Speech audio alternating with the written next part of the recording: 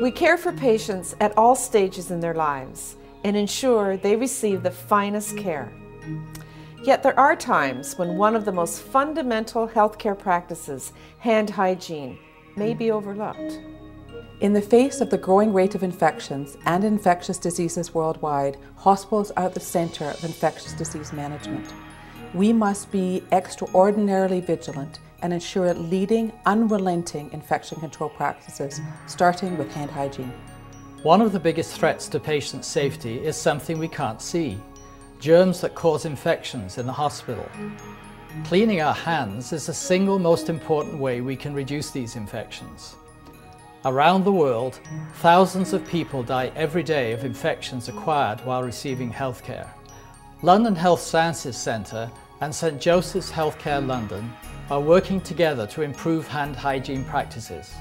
And we are not alone. We're part of a province-wide and worldwide effort to provide clean, safe care. To fight the spread of these infections, the World Health Organization and its partners launched a Global Patient Safety Challenge. Improving hand hygiene is also a priority of the Ministry of Health and Long-Term Care, the Canadian Patient Safety Institute, and Accreditation Canada.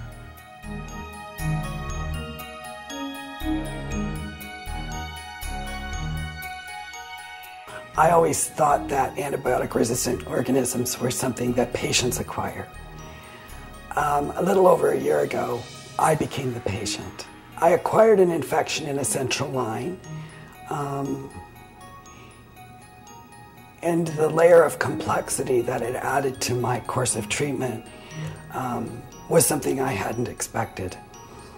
Um, there's pain, there's medication, uh, and there's fear. I don't know where or when I acquired this infection. Um, but I do know that cleaning hands saves lives. Hand hygiene is everyone's responsibility. We work in an environment that is full of bacteria and viruses. While those working directly with patients are more likely to come in contact with bacteria and viruses, we all interact with one another while walking down the hallways, meeting in cafeterias, or in conference room, the risk is always present. Remember, even if our hands are not visibly dirty, that doesn't mean they are germ-free. Our best defense is washing our hands so that we don't contaminate the environment and the environment does not contaminate us.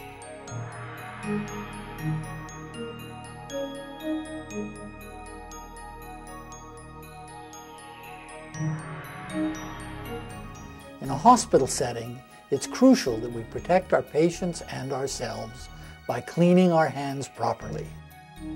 When hands are visibly soiled, it's necessary to wash them with soap and water.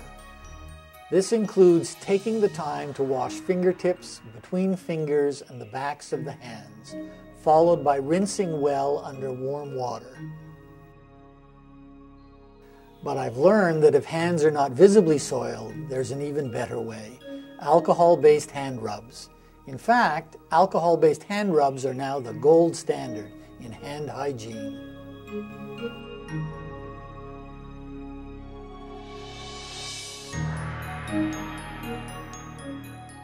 Even when gloves are used, we still have to clean our hands before we put them on and after we remove them.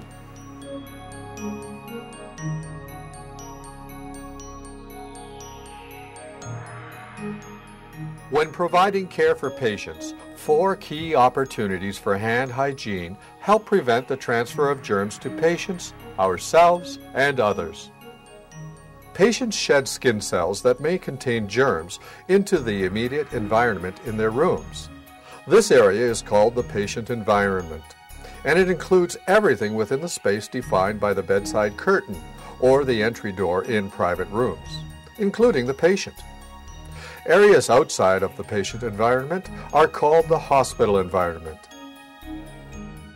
The first opportunity for hand hygiene is when the healthcare worker enters the patient environment. Washing hands at this point helps prevent transferring germs from the worker's hands or from the hospital environment into the patient space or directly onto the patient. It is important to wash hands for at least 15 seconds. This protects patients from getting germs from others.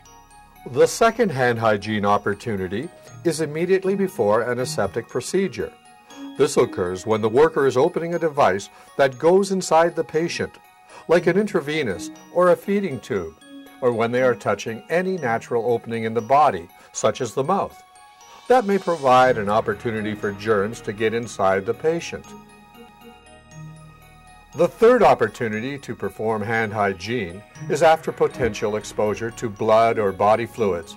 For example, when handling a contaminated dressing or obtaining a specimen. This protects the healthcare worker from picking up germs and prevents further contamination of the patient environment. The fourth opportunity is when the worker is leaving the patient space and entering the hospital environment.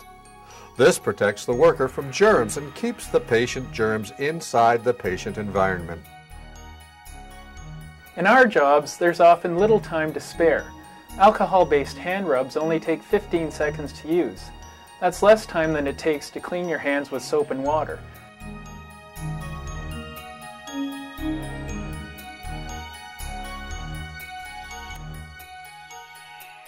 We're all responsible for the safety of our patients and ourselves. We want everyone to feel comfortable asking us if we've cleaned our hand. It's just a reminder, not a criticism. We're all in this together with the goal of protecting not only the health of our patients, but our own health as well.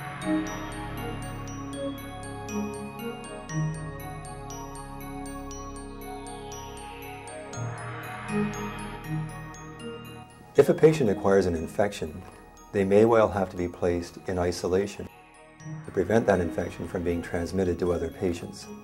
Isolating a patient produces several problems. First of all, there is no doubt that it's increased workload for the staff. Secondly, the quality of care may be impacted. And finally, often unknown to us, is the fact that many patients feel very lonely when they're isolated.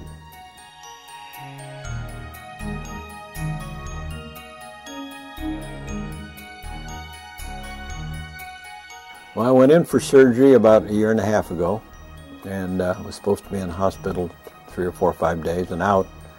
Uh, went along okay for a day or two and then I got this staph infection. Uh, ended up I was in hospital. I was transferred to a second hospital after a month, so I was in hospital for I think two and a half months. The staph infection that I caught damn near killed me. And uh, it turned my whole life upside down. Uh, it's affected all aspects of my life, be it physical, emotional, marital, family, uh, professionally. It's had a deep impact on my life. And uh, a year and a half later, I'm still in physio and still, in quotes, in trying to recover.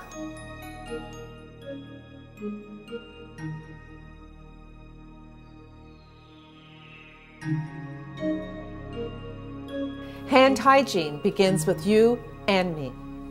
Every person who enters a hospital today and does not clean their hands is putting patients, themselves, and their families at risk. When care providers don't follow the four moments of hand hygiene for each and every patient they care for, they put the patient at risk. We cannot rest until each care moment includes proper hand hygiene. Working together, we can make this happen.